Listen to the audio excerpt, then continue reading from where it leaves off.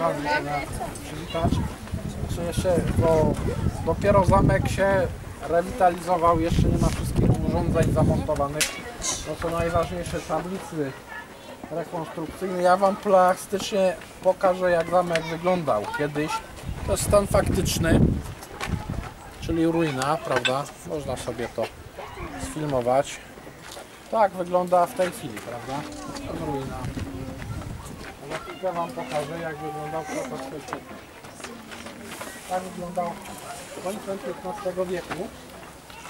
To jeszcze powiem, że później też było jeszcze kilka przebudów, ale to mówię, koniec XV wieku tak prawdopodobnie wyglądał. Mówię prawdopodobnie dlatego, że jak to faktycznie wyglądało założenie obronne, do końca tak nie wiemy, bo nie zachowały się żadne malowidła, ryciny, widzioryty, inne formy plastyczne, które dokumentują jak zamek y, istotnie y, wyglądał. Ja Wam podpowiem tylko, że zamek jest budowany w dwóch etapach. Stara część zamku, wschodnia, czyli zamek wysoki, to była część mieszkalna i reprezentacyjna, część gospodarcza, zamek niski, na którym się znajdujemy, to jest późniejsza y, fundacja.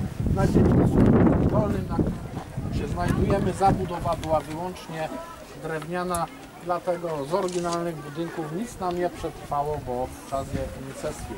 U góry byliście w skarbcu, w kaplicy i po lewej stronie zachowane relikty domu mieszkalnego, który pierwotnie miał ponad trzy kondygnacje, a na zamek wjeżdżano od wschodu. Tam była główna brama, most drewniany, wsparty na kamiennych filarach i tamtędy główna komunikacja się odbywała.